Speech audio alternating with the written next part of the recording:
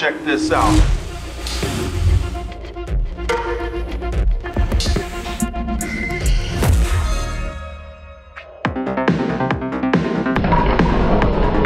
Gonna take this piece of copper that we printed on our Markforged Metal X, we're gonna charge it with electricity, and we're gonna plunge it into this piece of A286 stainless steel. We used to use this process all the time when building injection molds, and we always had to CNC machine our electrodes perfectly. But now, with our Markforged Metal X, we can print them unattended. Let's get into it.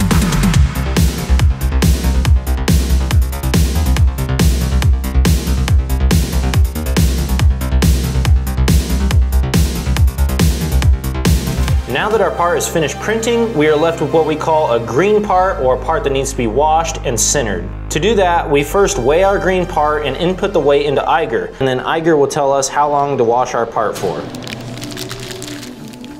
The wash uses an Opteon SF79 solvent that is boiled to accelerate the washing process. It chemically debinds the wax from our part to prepare it to be sintered.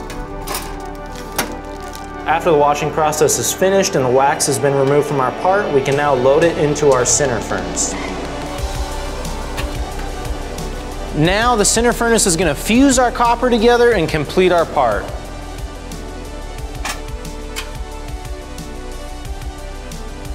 All right guys, so our sintering run is finished. This was the final step of our process. Our furnace has successfully baked out all that wax and polymer matrix and it fused our part together to give us a pure copper electrode. All right, so we sintered both of our parts and the cool thing about this process is you can sinter a variety of different parts in a single run. So now we're gonna take this, we're gonna take it over to our Ona Iris 6 and we're gonna burn it into a piece of A286 stainless steel. So let's go do that.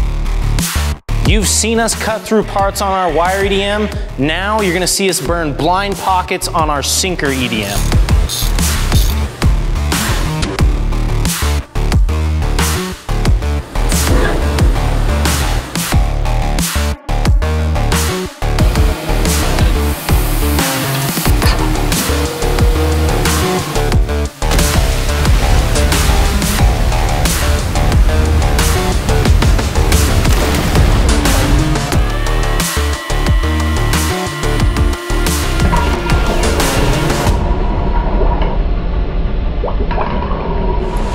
During our burn, our electrode isn't actually contacting our workpiece. Instead, when it gets close enough and the correct voltage is applied, a spark is going to jump the gap between our electrode and the part, and it's going to burn our material away.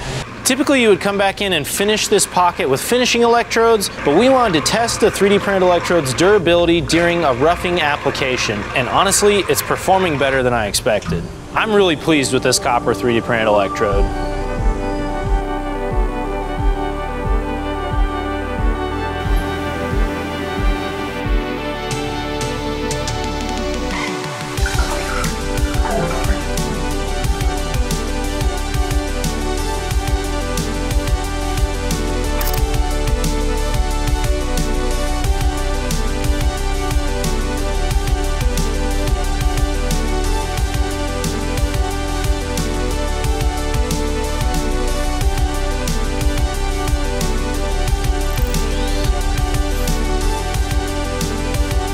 All right guys, so our burn is finished. I was always really curious about 3D printing roughing electrodes out of copper on our Metal X. We put it to the test and now we know that it works. I hope you guys enjoyed the video. Don't forget to like and subscribe and we'll see you guys next time.